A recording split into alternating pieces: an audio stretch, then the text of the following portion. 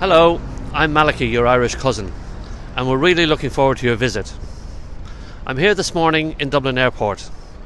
In Dublin Airport, we have two terminals, and I'm here outside Terminal 2, which for the majority of visitors from North America will be the terminal that you'll arrive and depart from. We're going to produce a series of short videos to help you get through the airport in the quickest time possible. Because when you're on vacation, you really don't want to spend time in an airport. Hit the subscribe button and visit our website on www.myirishcousin.com where you'll find plenty of details and ways to make the best use of your time while in Ireland. This is where you walk through from the baggage claim area into the terminal building. A quick sweep shows the Spar convenience store on the left. We have a Caffè Nero coffee shop here on the right. There's a food hall further down to the left and to the right. Cloakrooms are at the end of the building, left and right.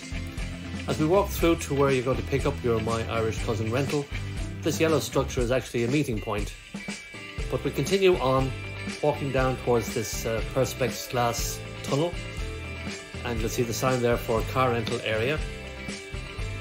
As we walk through, you'll see that we have a currency exchange here on the left, not always open, but there is one downstairs. To the right, if you are going to take a bus or a taxi, you'll go down those uh, escalators. But we continue on down to the car rental area. Gonna walk a little fast again. Okay, so here we are. My Irish cousin partners with Enterprise, and we have a particularly good relationship with them.